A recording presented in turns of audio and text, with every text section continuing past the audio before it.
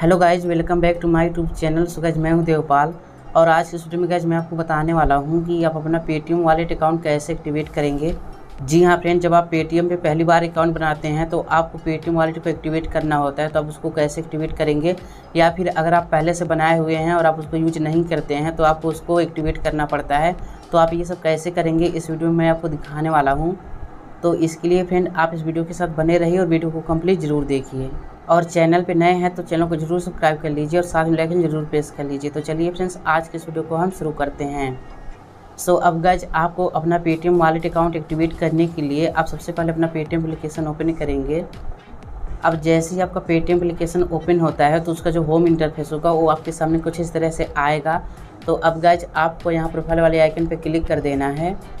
Profile वाले icon पे आप जैसे क्लिक करेंगे तो आपको ऑप्शन मिलेगा पेमेंट सेटिंग का तो आप यहाँ क्लिक करेंगे। प्रोफ़ाइल पे आप जैसे क्लिक करेंगे तो आपके सामने ये इंटरफेस आएगा। अब गज आपको इसको स्क्रॉल डाउन करते हुए थोड़ा नीचे ले जाना है। उसके बाद फ्रेंड आपको ऑप्शन मिलेगा प्रोफ़ाइल सेटिंग का तो आप यहाँ क्लिक करेंगे।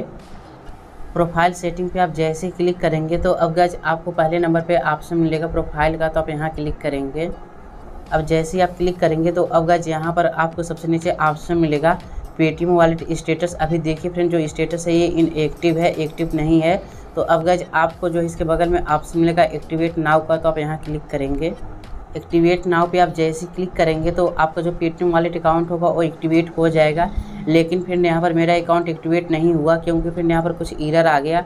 यहाँ पे देखिए लिखा हुआ है hi thank you for expressing your interest we are not accepting any new account opening application at the moment please try again later we regret the inconvenience overall friend इसके कहने का मतलब ये हुआ कि अभी हम जो है किसी न्यू अकाउंट को ओपन करने का जो एप्लीकेशन है, उसको हम नहीं एक्सेप्ट कर रहे हैं। जैसे ही हो जाएगा, उसके बाद फ्रेंड आपका जो अकाउंट होगा, वो एक्टिवेट हो जाएगा। तो वह इस तरह से आप बहुत ही इजीली अपना पेटीएम वाले अकाउंट एक्टिवेट कर सकते हैं। तो आई होप कि आपको वीडियो पसंद आई होगी। अगर वीडियो पसंद आई हो तो वीडियो को लाइक कीजिए शेयर कीजिए फ्रेंड्स में। और अगर आपके मन में कोई क्वेश्चन है तो आप नीचे कमेंट करके पूछ सकते हैं।